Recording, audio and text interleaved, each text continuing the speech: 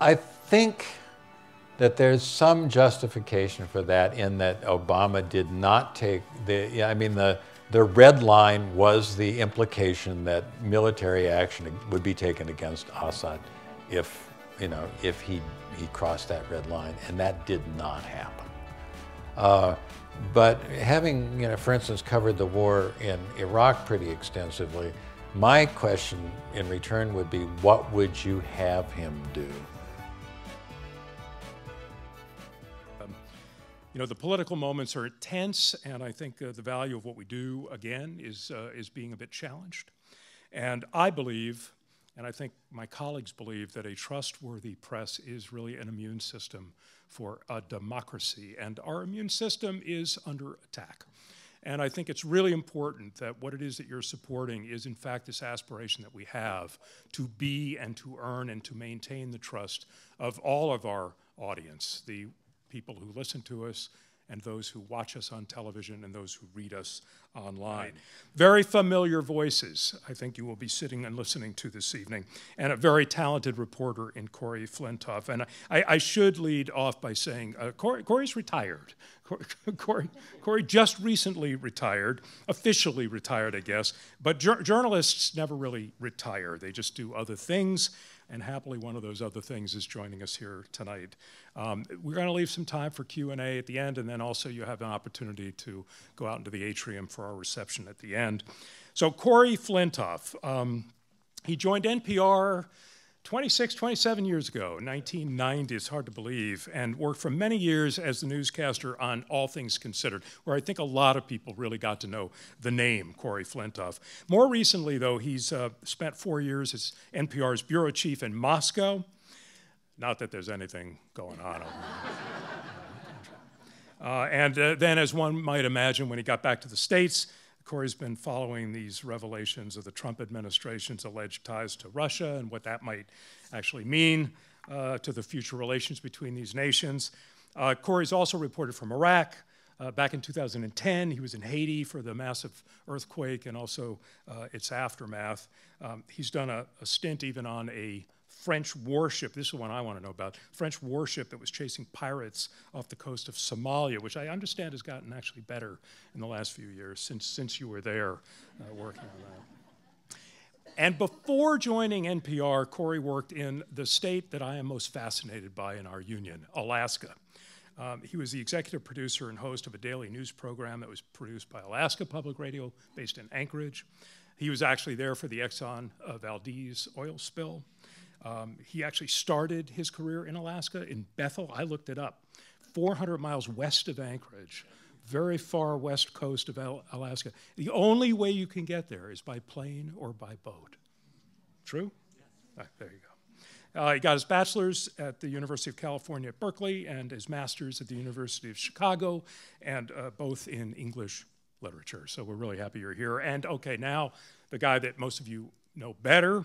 Um, our moderator, Jim Braude, because I do think you know them all. I, am going to give them a little bit of a short shrift on the intro, but not too much because there's stuff that I bet you don't know about Jim. Yes, he's the co host, uh, along with Marjorie Egan, of our daily midday talk show, Boston Public Radio. And he's also the daily host of Greater Boston on Channel 2 every night. But he started his career as a legal services lawyer in the South Bronx in New York. Um, he was the founder and the first president of the National Organization of Legal Services Workers, that union, which represented staff in uh, civil legal offices for the poor in 35 different states. He was the executive director of the Tax Equity Alliance here in Massachusetts, leading a lot of ballot campaigns. But I think over the last couple of decades, um, he has become a really important figure and fixture here in the media landscape in Boston. Uh, I would argue, having gone out to dinner with him a couple of times, he's probably the most widely recognized uh, political journalist and political moderator in town, uh, and, a, and, a, guy who I've had the good fortune of working with at two different uh, radio stations. So I'm really pleased to present to you tonight um, Jim Braude and Corey Flintoff. Good evening. Good evening. I should tell a quick story before we uh, start with the Corey thing here. Uh, two nights ago, you'll understand the relevance of this. I didn't tell you this either. Uh, John Deutsch was on Greater Boston with me. He's the former head of the CIA for a year or so with, uh, with Bill Clinton. And as he's leaving the studio, and it's clear he's not crazy about media people, I think that's a fair statement. When it's over, he's walking out of the studio, we're off the air. He turns to me with a smile on his face, and he says, You do interrupt people, don't you, Jim? so, my daughter, my younger daughter, who's 23, sees the tweet. You'll understand why I bring that up in a minute. The same younger daughter who thought I was going shopping with her tonight. And I told her, You got the date wrong. I'm doing an interview with Corey Flintoff.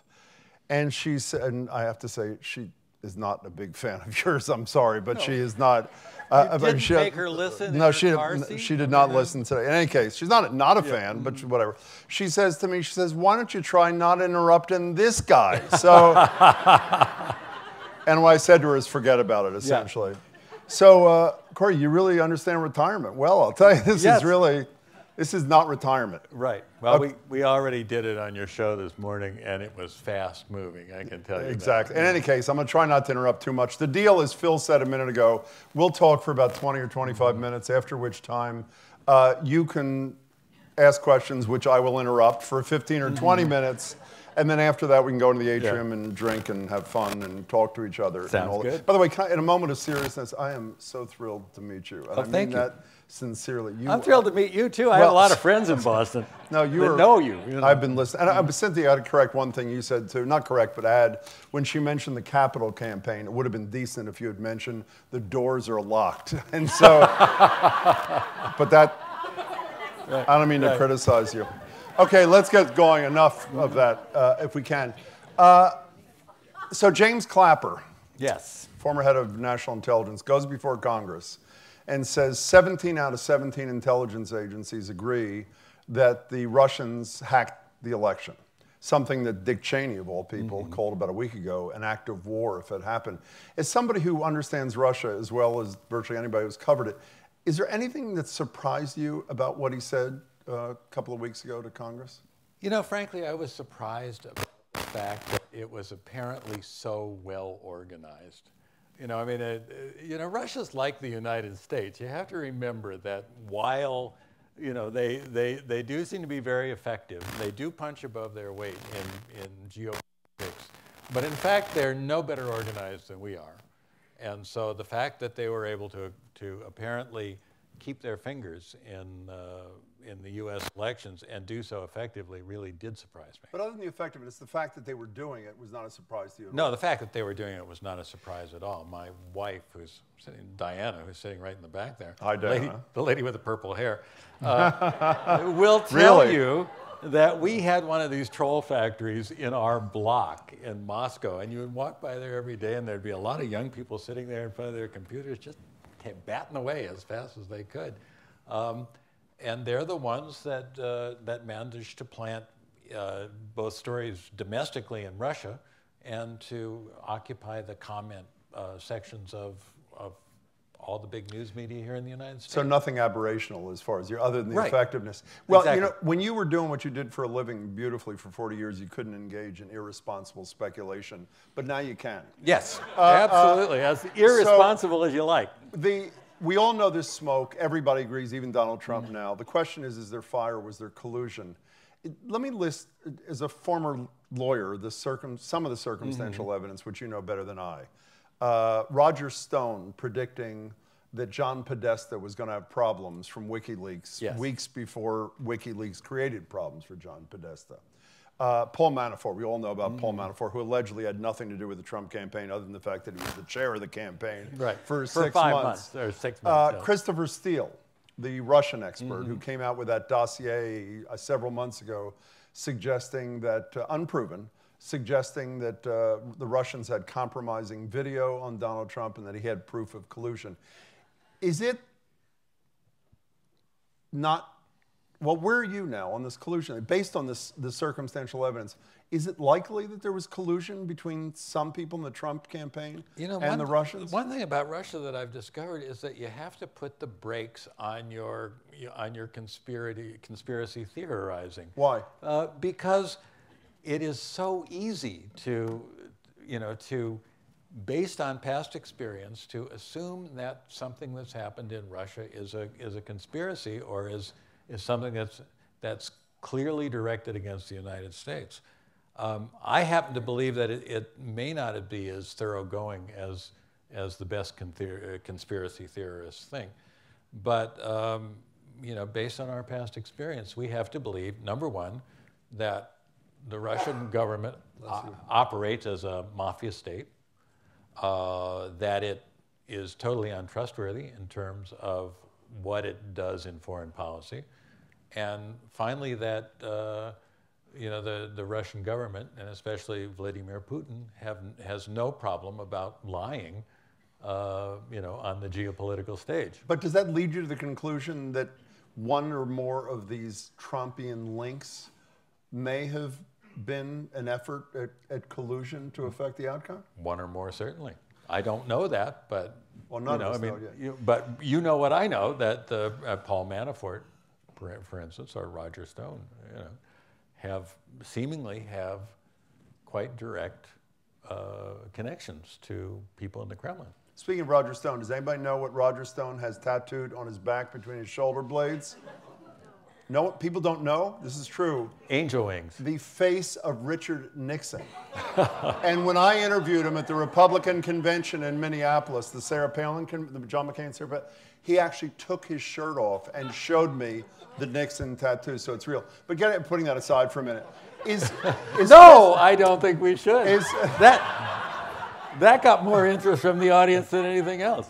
Is Christopher Steele, in your estimation, or I mean, he is a Russian. Is is what he says? I don't mean in this case. Is he mm-hmm. generally seen as a credible? Yes, he is genu- generally seen as a credible source.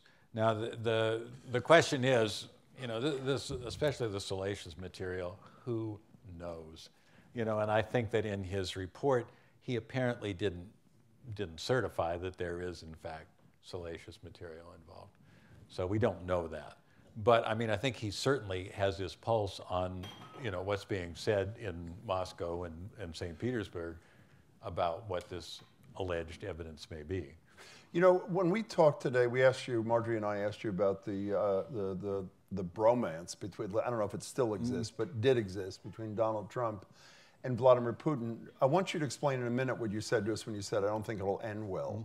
But before you explain why you think that, where do you think it comes from? What's your speculation as to why Trump seems to feel this odd affinity for somebody that so many Republicans have more contempt for than most Democrats do? Well, we know, for instance, that uh, that Russians, in fact, did invest did invest heavily in in Trump enterprises. Uh, that's something that Eric himself has said um, so, Eric the kid. Yes. So we know that. I meant Eric his son. That, that's that the case. We do know that uh, Donald Trump has apparently had good experiences during his visits to Russia. You know, I mean, he's, he's visit, his visits have involved uh, prospective investments, uh, both in Russia properties and in, in Russian investment in other properties that he has around the world. So, uh, you know, these are these are generally satisfactory to a businessman negotiator like Donald Trump. And finally, we have the uh, Miss Universe contest. You know, something that you're serious about that. I'm serious yeah. about that. I'm serious about that. And Donald Trump was serious about it when he was running the Miss Universe contest. And uh, you know, the Russians do have uh, an impressive reputation for hospitality and for treating visiting visiting celebrities very well and making them like Russia. Donald Trump would have no particular reason to, to delve into the foreign policy of Russia. I think he just had a good feeling about it and thought, why couldn't we make a deal with these people in geopolitical terms? Well, speaking of making a deal with these people, uh, on our show tonight, we talked to a couple of experts on Syria on TV, uh, both of whom agreed that unless Donald Trump can make a deal with Vladimir Putin, that this Syrian outrage is going to continue. St. Peter, we, we talked about this today too. Uh, uh, you'll understand the connection in a 2nd mm-hmm. St. Petersburg uh, at the metro, this this killing of mm-hmm. I think mm-hmm. 14 people. Yes. Most of the American press said that the consensus was that this was somebody who took the action he took because of his anger at uh, uh Putin's support for Assad in Syria. You took it to a totally different place. What did you think might be what really was going on there in St. Petersburg? Which, by the way, is hometown, the hometown of Putin and Neve's in town. Exactly right. right. Yeah. Well, this goes to my own caution about uh, about conspiracy theories because you know the the sort of Twitter sphere at least has been a buzz. The Russian Twitter sphere has been a buzz with uh, conspiracy theories suggesting that this was somehow a provocation that was produced by the Kremlin. And the reason, uh, the reasoning behind that was, you know, we, we know that we just had these massive, surprising anti-corruption protests in more than 100 Russian cities last month. Um, and uh, we have heard from the Kremlin that the intent is to crack down very severely on anyone who, who continues to protest in Russia. Um, but this is even, you know, what, what's going to come of these, this attack in St. Petersburg will be an opportunity to crack down in the name of counterterrorism. So that's why conspiracy theorists in Russia believe that this could have been a provocation that was actually engineered by the Kremlin. You know, if that's a stretch too far, I don't know. But you may recall that uh, before Vladimir Putin was elected president in, in, in 1999 and 2000, there were a series of terrorist attacks against apartment houses in uh, apartment buildings in Russian cities. And something like 300 people were killed in a series of these bombings. The Russian security service, the FSB, was implicated in the final bombing. And, uh, you know, so there is a track record that suggests that there may have been a provocation in here and that it may have nothing whatever to do with Syria. You know, uh, uh, this is a long day for me, and as I was talking to you, I forgot where we were, and I was about to say our number is 877 301 right. 8970, but I realized you're here already. Can we just stay on the Syria? I want to get to the Yeah. protests, which are amazing to me. Nikki Haley, who's the former governor of South Carolina, who's obviously now the uh, Secretary of the United Nations, and, and many people think has more influence in the Trump administration than, sadly, the Secretary of State does these days.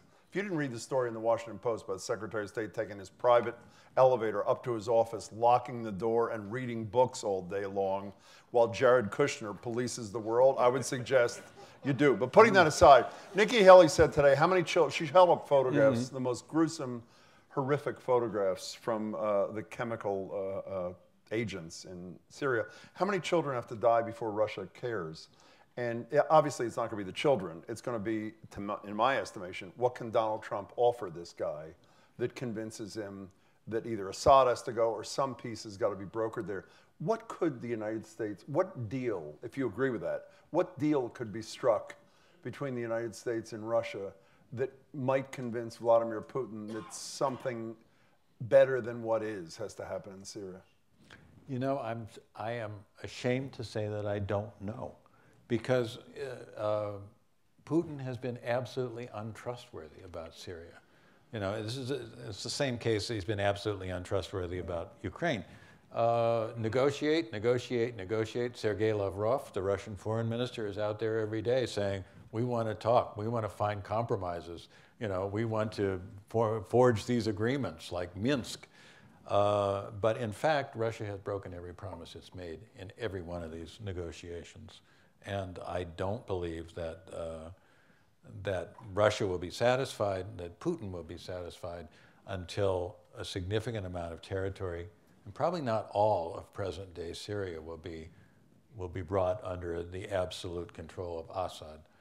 But I don't think that the Russians will be satisfied until that's been achieved and Assad at least is guaranteed that he'll retain his control over a significant part of Syria. What's it like covering Russia in the time of Putin? What were those four years like as a reporter? You know, it's, uh, it's surreal because I got there, uh, when I got there, things have changed a great deal in just four years. You know, when I got there, there was a lot of analysis about um, who was in control in the Kremlin.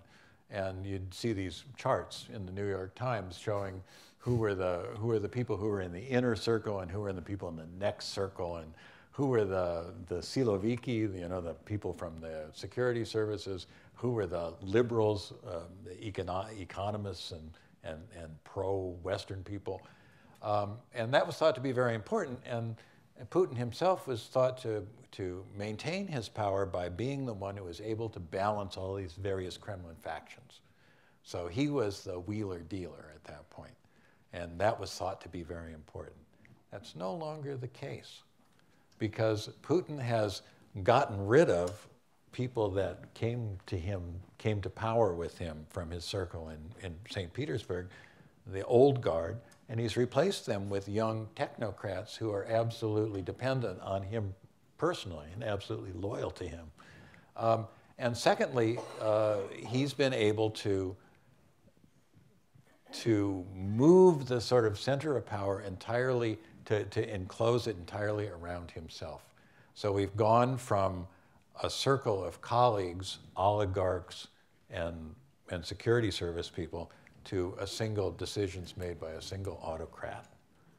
And I think that's tremendously important. But, but covering, I mean, you were, you've been in his presence mm-hmm. on a number. Yes. Uh, uh, what's, I mean, what do, what do you know about him that we don't know about him? Or what's the feel you got from Putin by being in his physical presence as opposed to what we experience. Uh, well, when you're in his physical presence, was he shirtless in any of those things? no, I missed okay, the shirtless part. You know, one of the things, though, I mean, the shirtless pictures are a good example. There's a lot of, you know, Putin is ubiquitous in media in Russia. Mm-hmm. He's on state television every night, and he takes up a significant amount of every newscast with whatever his activity might be. And the coverage of him is always slavishly uh, supportive and positive. Um, and then we get the shirtless photos and the features about him. Uh, we get the, uh, the yearly calendar of him cavorting with his dogs and, and working out with his pal Medvedev, you know, and uh, the things that are supposed to humanize him. But the overwhelming impression about Putin is not of a human being, but of a man who is absolutely wedded to the Russian state, a man who absolutely represents the Russian state just as the czars used to do. How hard does he make it for the likes of you to do a responsible job of reporting from Moscow? Um, certainly, it's very difficult to report on the Russian government because it's very difficult to interview a minister, for instance. You know, if I want, you know, something like just I just want the Russian government line on any on any subject, ministers don't answer my calls because there's just no point in, in talking to a foreign reporter.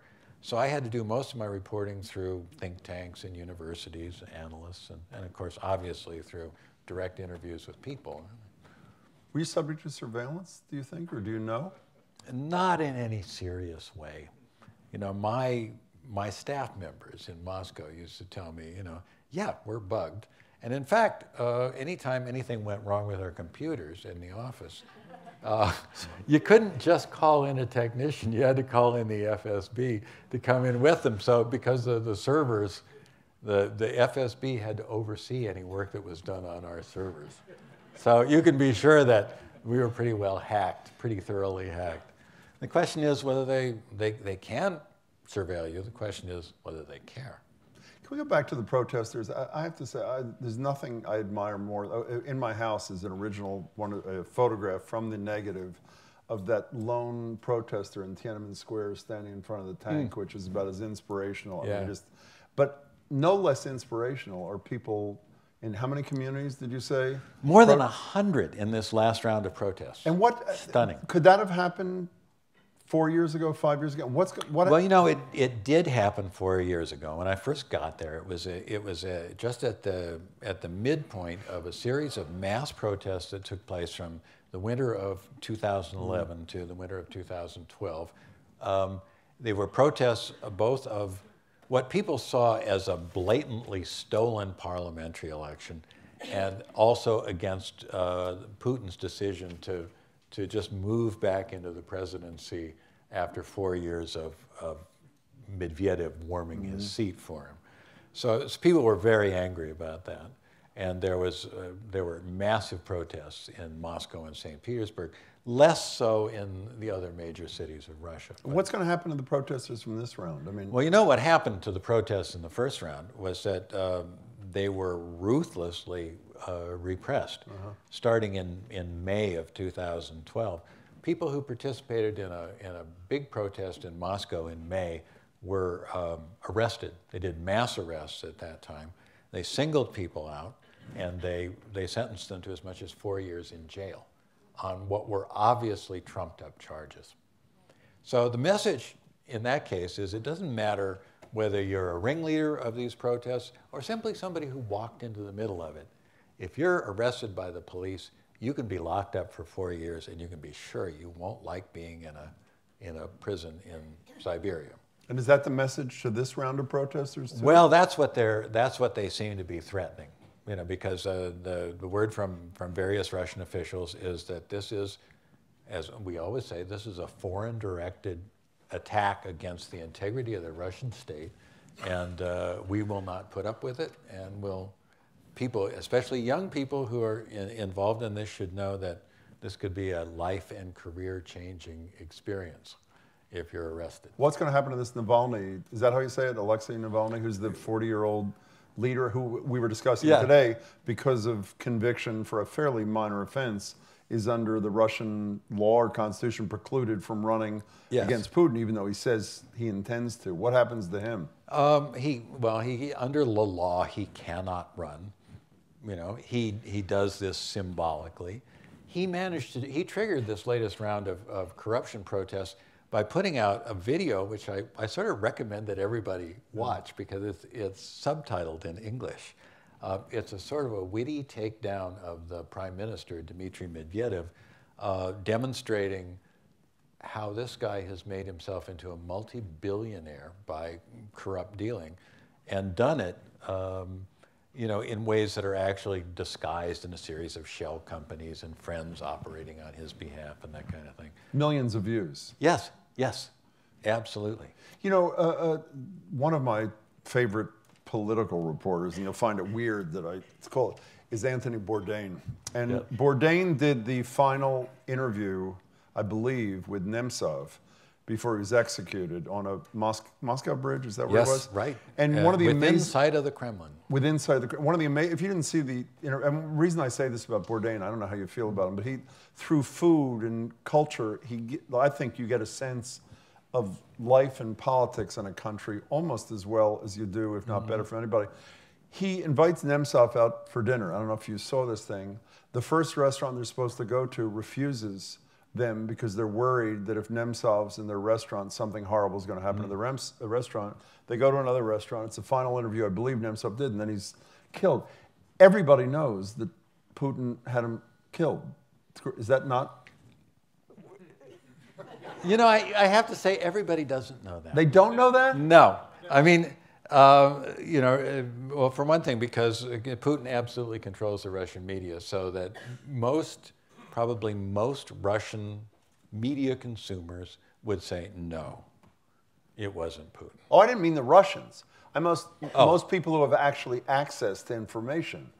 Well, and, and once again, that's another thing that's a little problematic. Uh, my guess would be that it was something that was done by Ramzan Kadyrov, who's the uh, Who? Ramzan Kadyrov, who is, is the installed puppet president of Chechnya. He's a real loose cannon. He's a, a, vicious dictator. Right now, he's engaged in a, in a campaign to kill off gay men in Chechnya, which is a mostly Muslim uh-huh. uh, North Caucasus republic.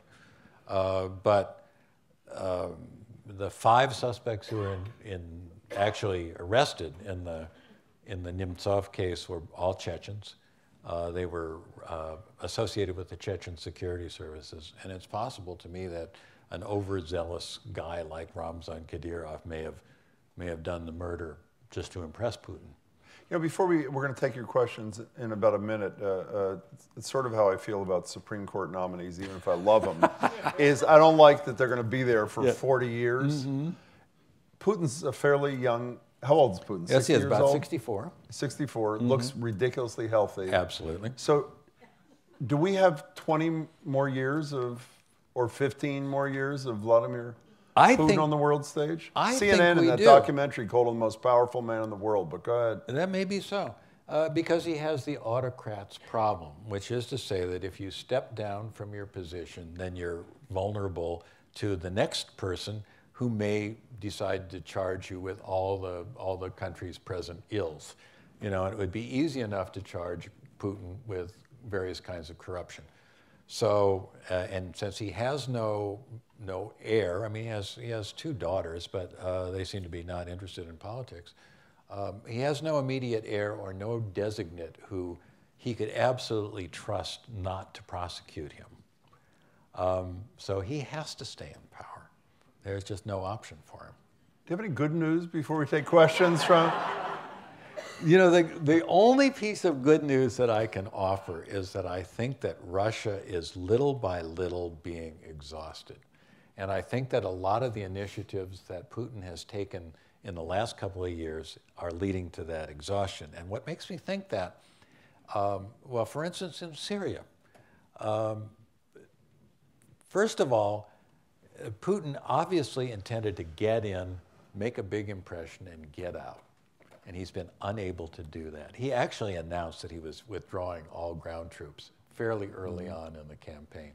He did not do that. Um, most recently, remember the city of Palmyra? Uh, the uh, Syrian, Syrian troops recaptured the city of Palmyra with very strong support from both Russian air and ground forces. And, there, and in Russia, that was treated as an absolute triumph. They were really proud of that. Um, but what happened when, as soon as we turned our attention away, is that ISIS re recovered Palmyra. They actually regained it, and with very little publicity, they've been sitting there for the last couple of months. In fact, they, you know, that they destroyed that lovely Roman theater. Uh -huh. That was the, the absolute little terrible thing that they were able to do. Well, that would not have happened if the Russians truly had the military superiority and energy that they claim to have had. Uh, nor do they have the kind of control over the Syrian army that they wish they could have had. So I think um, that Russian strength is playing out. Military strength is playing out both in eastern Ukraine and in Syria. And uh, it's becoming costly for them. The economy is not doing well. Um, the uh, Russian people's will to continue these things is not remaining strong. And I think we're going to see a sort of gradual diminution of, of Putin's power. By the way, while we are thrilled to have you here, I wish you were there, frankly. In any case, uh, questions. If you want to stand up, uh, there's going to be a mic circulating. And if you can just say who you are, it would be great. So raise your hand if you'd like to uh, ask a question. Yes, sir, right back there. We'll start. Just tell us who you are. Here's the microphone, sir. I'm George Kaler from North Andover. Do you think it's accurate to say that President Obama did nothing following his red line speech following the Assad sarin gas attack in 2013? Yes. I mean, that's the Republican line that says he did nothing. And I thought that within a month or so after the attack, uh, the US, Russia, and Syria had an agreement to, to remove the chemical weapons from Syria to Russia.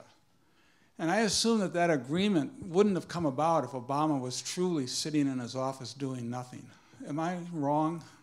Well, you know, I, I, I think that there's some justification for that in that Obama did not take the, I mean, the, the red line was the implication that military action would be taken against Assad if, you know, if he, he crossed that red line, and that did not happen.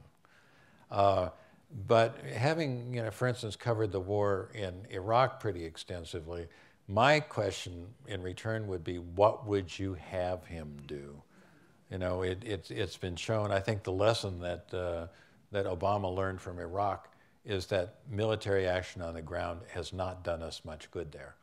You know, so I think that what the administration did was to accept um, what looked like a safe removal of, of Assad's chemical weapons uh, and, and cho choose to let the line slip. Um, I really can't, as a, as, a, as a matter of foreign policy, I really can't argue with that. By the way, I assume people also know that while Donald Trump and Sean Spicer yesterday excoriated President Obama for being weak and uh, irresolute by not following up on that red line. I assume you all know that Donald Trump was tweeting nonstop that same year saying the president should do nothing. Yes.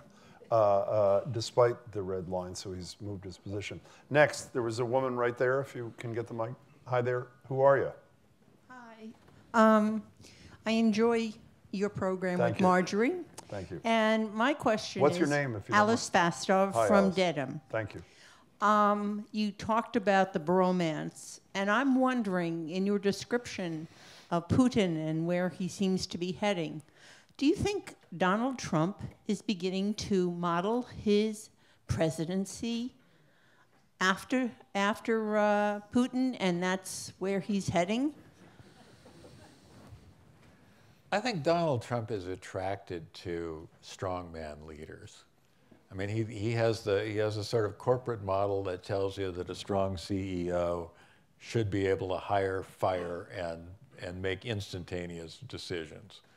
Uh, Vladimir Putin is a man who's taken 17 years to grow into his position. He wasn't the kind of powerful and decisive leader that he appears to be now when he first took, took power. So, uh, you know, I, I, I, think Donald Trump may like the optics that Putin is able to generate right now, but uh, I think he's going to find that uh, with the American system, it's just not possible to be that kind of leader. Next, yes, sir, in the front here, if you will. You are? Hi, uh, John Markowitz from Charlestown. Hi, John. Um, how do we know that Russia hasn't uh, tried to influence American elections before? Or, or other countries. And, and, doesn't America do that to other elections in other countries? Well, you know, remember that, uh, you know, there was an accusation that, that the United States has spent $5 billion to, uh, to influence elections in Eastern Europe. And this specifically came out at the time of the, of the Ukrainian Revolution, Maidan. Um, well, that turned out that that $5 million was actually money that was spent both in Russia and in uh, the former Soviet states to do democracy promotion. And certainly the Russian government would, would resent the idea that uh, uh, USAID uh, or any of the programs that it funds for uh, government transparency, you know, election monitoring, uh, independent press, and that kind of thing, Russia definitely, you know, resented those kinds of programs and felt that that was interference in the local politics of those various former Soviet states. Um, I happen not to think so. You know, I've seen those programs in action, especially in Ukraine, and I think that by and large they're, they're, they're very salubrious to the idea of making Ukraine into a successful uh, democratic Western style country. Um, but if you look at it from the Kremlin's point of view, that's all subversion.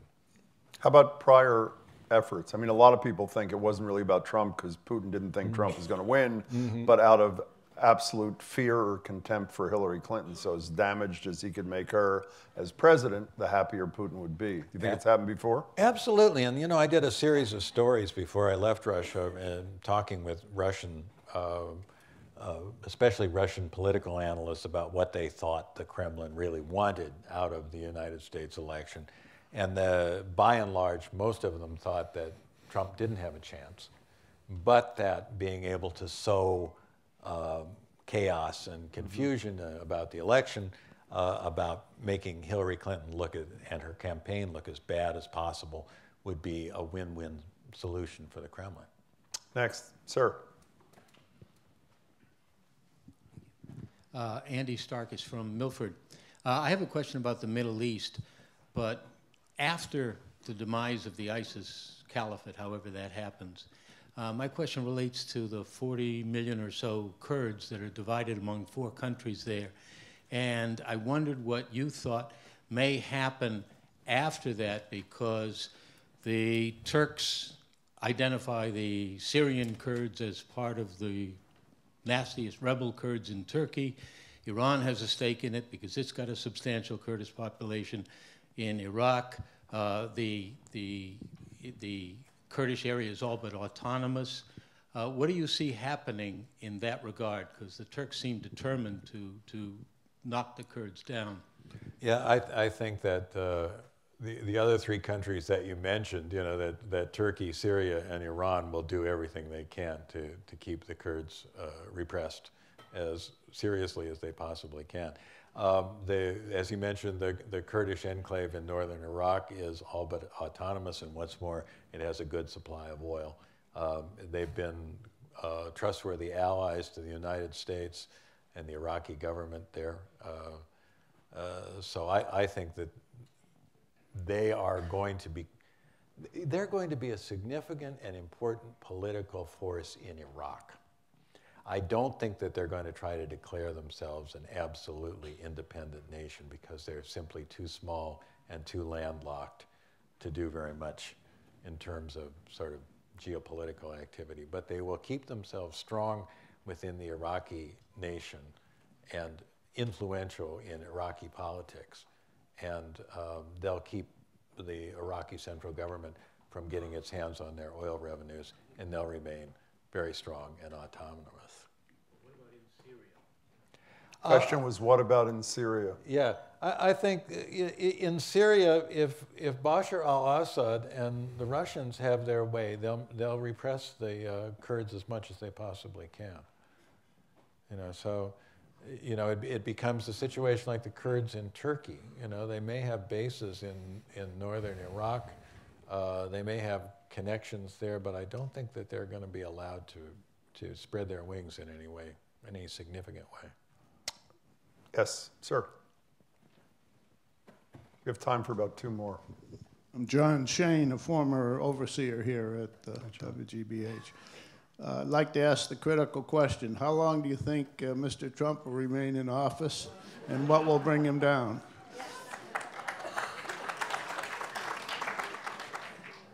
You probably saw uh, Robert Reich did, uh, did a, um, one of his, his famous videos uh, which he now says that there are four impeachable offenses that, uh, that Mr. Trump could be held to, and a possible fifth on the horizon. Um, I don't know, frankly, whether the, you know, I mean, what, what impeachment takes political will on the part of the legislature, and we don't have it. And I don't think we're going to have it anytime soon. Um, so my guess is that if he doesn't resign under his own steam, uh, which he may do since he clearly has so little taste for, uh, for the actual process. Well, he's obviously sick of winning as much as he's won too, I think. Exactly right. we, may have, we may have winning overload here, and he may, uh, or I, I, think that party-wise, he may be induced to resign in favor of uh, Mr. Pence. Yeah, the interesting thing, we talk a lot about this on the, the radio. By the way, not usually generated by us but by callers who raise things like you do. And the point that's made by a lot of people who are troubled by Donald Trump's path, for lack of a better expression, is most people think Mike Pence uh, is far smarter in the ways of government, is far more ideologically driven, whether you like the ideology or don't like the ideology. And uh, uh, as a caller said the uh, other day on the phone, I'm, I'm not taking a position, I'm just repeating it if you don't like Donald Trump, you'll really not like uh, Mike Pence. So, uh, for whatever that's worth. Yes, sir.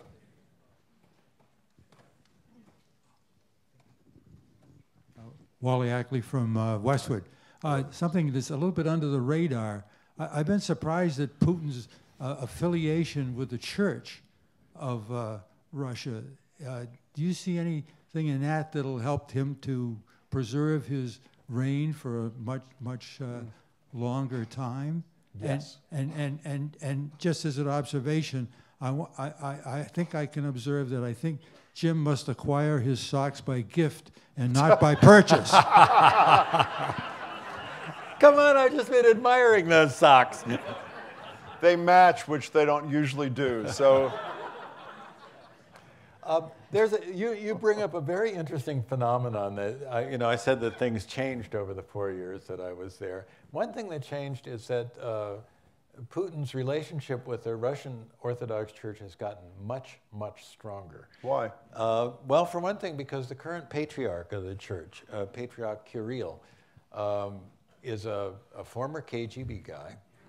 Uh, this is this is the, the single most powerful religious figure in the single most powerful Orthodox church, not only in Russia, but throughout all the Orthodox countries. Um, and he is, in fact, a former, a documented former KGB figure. Uh, and uh, so during the, the last election for Mr. Putin, he said that, that Mr. Putin was a gift from God for the, the Russian state. There, there is a strong, uh, I, I, guess there's a strong stream of, of Russian thought that actually uh, that combines nationalism with religiosity. Uh, I mean, where have we heard that before? Uh, but uh, with Orthodox Christianity, and something like 93% of, of Russians identify themselves as, as Orthodox believers, although only about 4% actually go to church. Uh, but nonetheless, I mean, there is this strong identification. And there's also a strong identification with the Russian monarchy. As you may know, the, you know, the, the Nikolai and Alexandra and their families have been beatified in the Russian Orthodox Church. They are saints. Uh, and the, there is a, a nationalist strain in, in Russian society that would like to see a new czar. And, uh, and Vladimir Putin would fit the bill perfectly.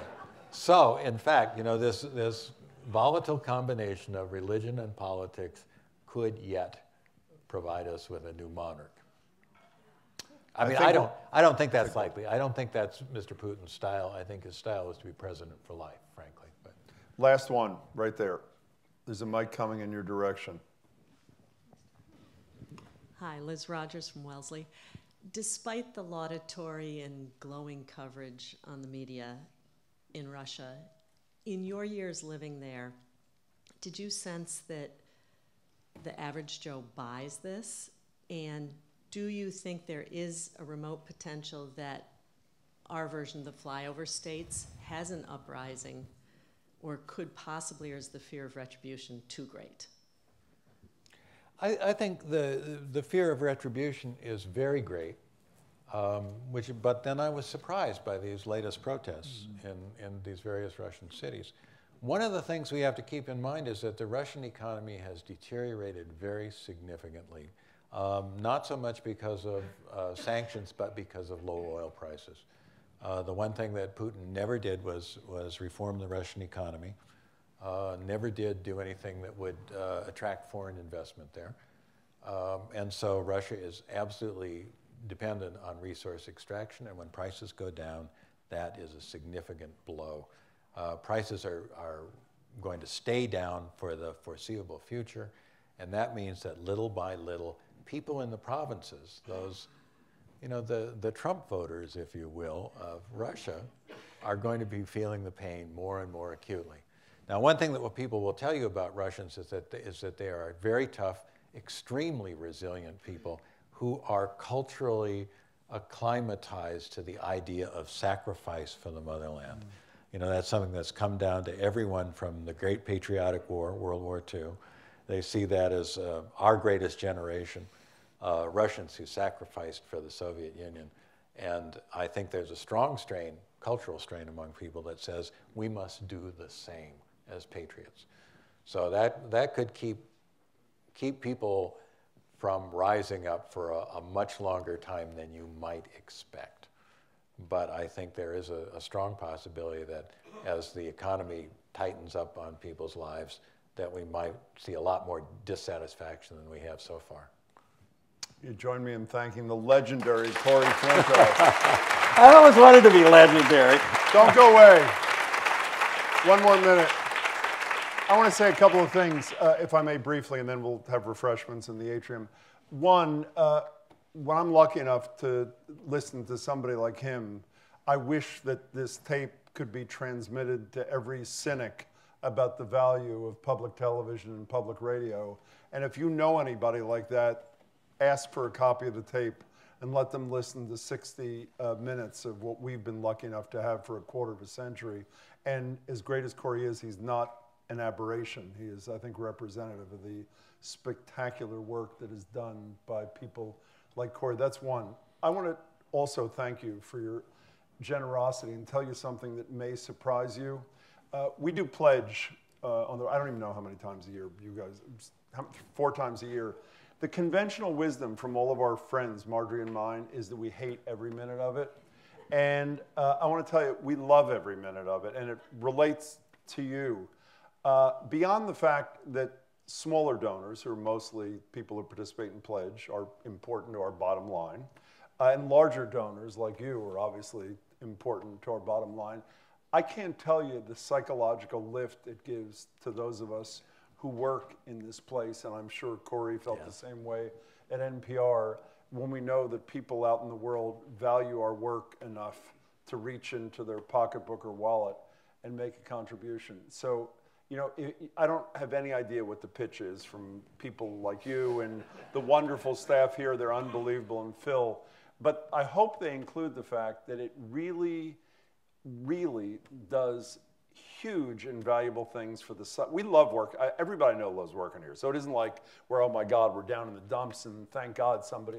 It's not that at all. We love it. We're so fortunate to be able to do this for a living. But I can't tell you how inspiring it is for all of us to know that there are people like us, you, who value what we do and understand there's some value in that to the community. So I know I speak for every single person in the building saying thank you for your incredible generosity. Please go home and tell your friends about why you care about this incredibly wonderful, valuable place. And I hope next time they'll join you. So thanks to Corey, and thanks to you. And let's go to the Thanks to you. Thank you. It's a pleasure. Absolutely. Really appreciate it.